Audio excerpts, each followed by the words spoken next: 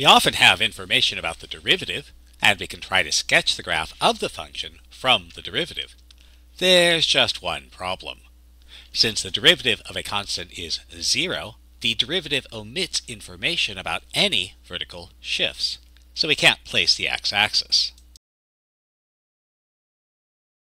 So for example, let's say we have the graph of y equals f prime of x. Let's try and sketch the graph of y equals f of x up to a vertical translation, and then identify all local extreme values and inflection points, if any. So there's a couple of important things to remember about the derivative. First, remember that if the derivative is positive, the function is increasing, and since we're talking about the graph, if the function is increasing, the graph is rising. Next, a useful idea in general, how you speak influences how you think. And so you want to be very, very, very careful about talking about the derivative and the graph, and make sure you identify which one you're talking about. And so we see that the graph is positive until x equals negative 2. Since this is a graph of the derivative, this means that the derivative is positive until x equals 2. So the graph of y equals f of x is rising until x equals negative 2. Now, remember we lose the information about the vertical translation, so we have no idea what y is, and it will be helpful if we draw a vertical line through x equals negative 2. And the idea is that wherever we start, we rise until we hit the line. So maybe our graph looks like this. Now this dotted line just shows us where x equals negative 2, so we don't really need it anymore, and we'll get rid of it. We see that the graph is negative until x equals 4, and since this is the graph of the derivative, that means that the derivative is negative until x equals 4. So when we go to the graph of y equals f of x, derivative negative means that the graph is falling until x equals 4.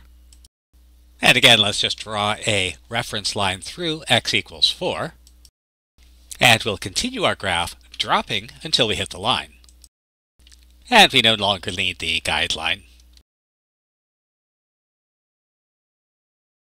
And in this last segment, the graph is positive. And again, since this is a graph of the derivative, the derivative is positive. And so the graph of y equals f of x will be rising after x equals 4.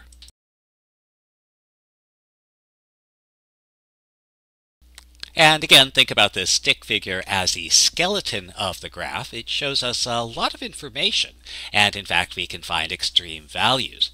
So we notice the graph is rising until x equals negative 2, and falling after. So there's a local maximum at x equals negative 2. And similarly, since the graph is falling until x equals 4 and rising after, there's a local minimum at x equals 4.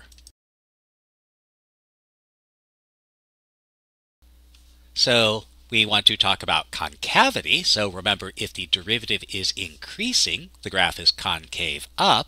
And if the derivative is decreasing, the graph is concave down. So we see that the graph is falling until x equals 1. Since this is the graph of the derivative, that says that the derivative is decreasing until x equals 1. And so that means the graph is concave down until x equals 1. So let's put in a marker.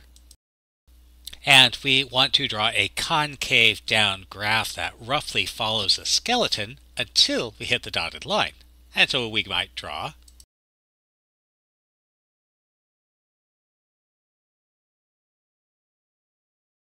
Next, we see that the graph is rising after x equals 1.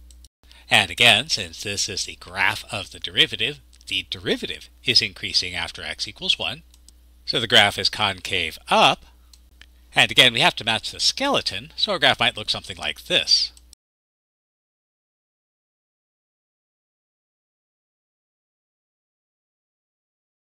And since the graph is concave down until x equals 1 and concave up after x equals 1, then that tells us there's an inflection point at x equals 1.